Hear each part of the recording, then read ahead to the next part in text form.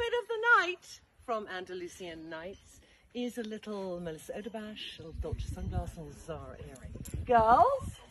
My dress is from Reformation and my shoes are from Lazy Oaf X Maddie? And my dress is from Zara and my sandals from ASOS. Hannah? My dress is from Free People and my shoes are from Nike. Alice? My dress is from Kendalle Bennett and my shoes are from. no the hostess from Ronda eh, y no caro. Come on.